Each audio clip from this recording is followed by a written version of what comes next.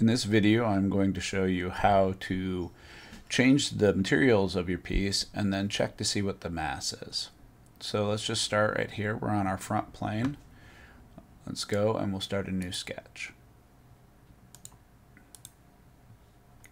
Alright, let's draw a square.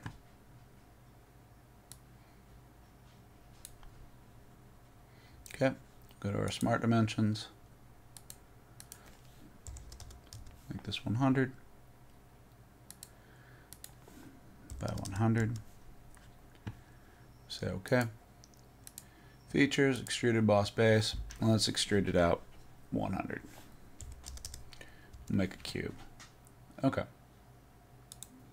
So right now, it's just a default material. It's not specified. And so what you want to do is you can come over here to where it has the materials on the left-hand side of your screen. Right click there and go to edit material. And this gives you a whole bunch of options here. Starts off with steel being the drop down. And so you could pick any one of these um, any one of these types of steels. And if you look here, so like if we look at this 1020 um, steel, you can see down in here that it has a mass density.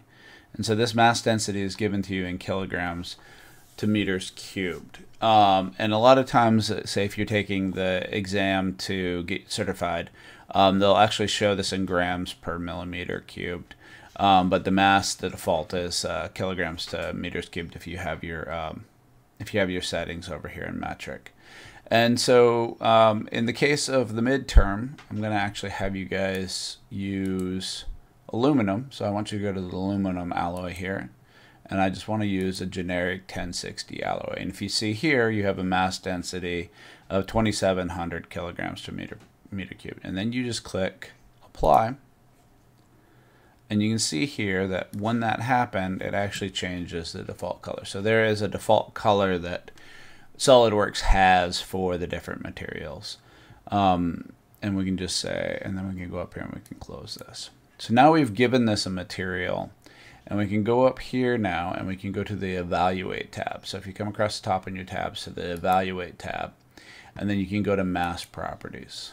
And under mass properties, you can actually see up here that we have 2700 grams. And that makes sense, right? Because we made this um, 100 millimeters by 100 millimeters by 100 millimeters. So since we're a metric, uh, we can actually figure out what the, you know, we have our cubic cubic millimeters here, and that's going to translate to our 2,700 kilograms to meters uh, cubed is going to be 2,700 grams for for this shape here. So um, there you go.